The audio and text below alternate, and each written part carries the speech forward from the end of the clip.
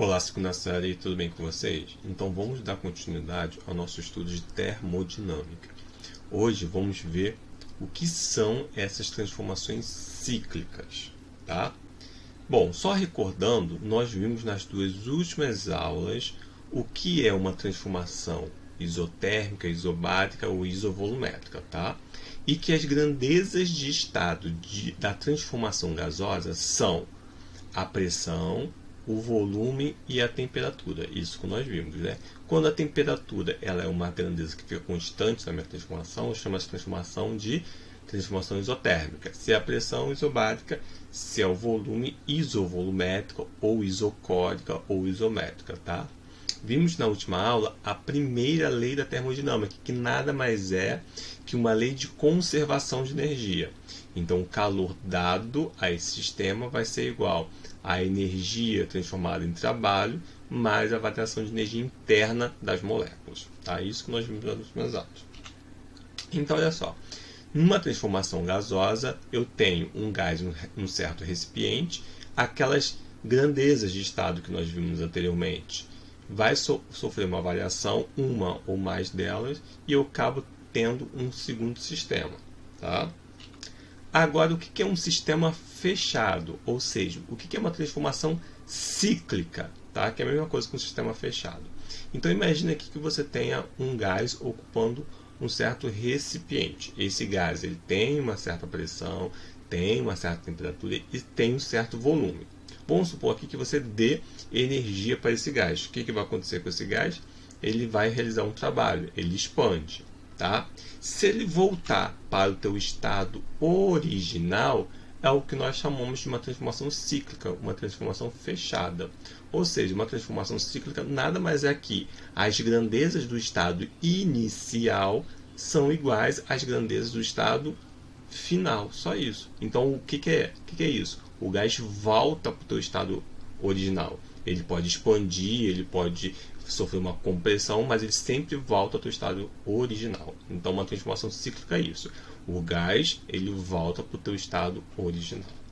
Bom, como que nós vamos representar isso? Bom, nas últimas aulas nós vimos como calcular o trabalho de um gás. Então, observe aqui que aqui, no, nesse minha primeira figura, nesse esquema 1 aqui, eu tenho uma transformação de B para A. Nesse caso aqui, é uma transformação cíclica? Não. Então, nesse caso aqui, não é. Por quê? Porque aqui ele só tem um caminho. Ele só faz uma transformação de B para A. Para calcular o trabalho desse gás, é toda essa área aqui. Ó. É a área dessa figura. Tá? Debaixo do gráfico. Agora, se o gás volta de A para B, qual é o trabalho desse gás? É toda essa figura aqui. Essas duas figuras aqui, figura 1 e figura 2, são transformações cíclicas? Não. O que é uma transformação cíclica? A figura 3. Ó. A figura 3 é uma transformação cíclica. Então aqui o que ele faz? Ele faz, ele faz um trabalho de B para A, ele faz aqui uma transformação de B para A e ele volta ó, de A para B. Fica nessa brincadeirinha aqui. Ele vai de B para A, de A para B. Isso é uma transformação cíclica. Tá? Então o estado inicial dele corresponde com o estado final dele. E como que eu vou calcular o trabalho desse gás através desse gráfico aqui? É a área da figura que corresponde a essa transformação cíclica. Tá? Então, se eu junto aqui essas duas figuras, então bastaria eu fazer o quê?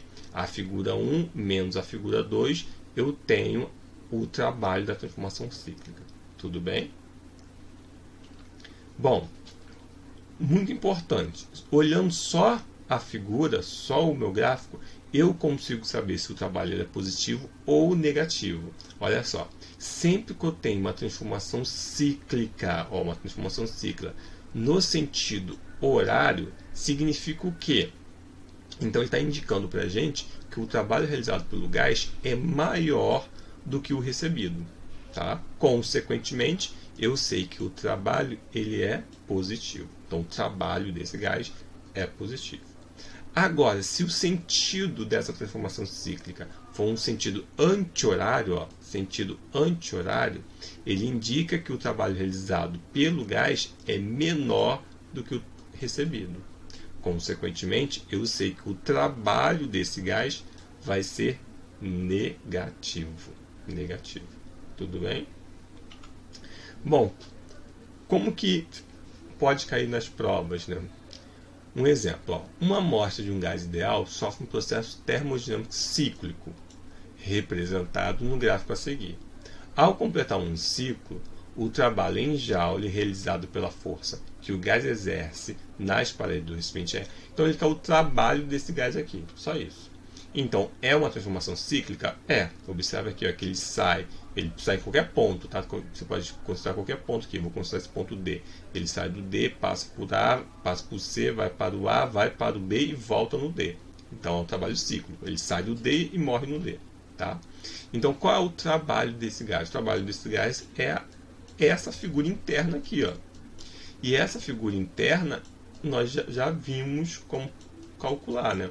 Isso daqui é um retângulo. Então, para calcular a área desse retângulo aqui, então o trabalho vai ser igual à área, né? numericamente igual à área desse retângulo. Então, essa a área do retângulo vai ser o que? Base vezes altura. Então, qual é a base aqui? 0,3 menos 0,1. Então, o trabalho disso daí vai ser o que? 0,2. Por que 0,2? É 0,3 menos 0,1. Porque é a base disso aqui. Vezes a altura. Qual é a altura? A altura é 30 menos 10. Então, 30 menos 10 vai ser 20. Então, qual vai ser o trabalho disso daqui? 4. 4 o quê? Joules. Esse aqui vai ser o trabalho dessa minha primeira figura aqui. Tudo bem? Simples assim. Vai ficar para casa? Tentem fazer dessa figura aqui, ó.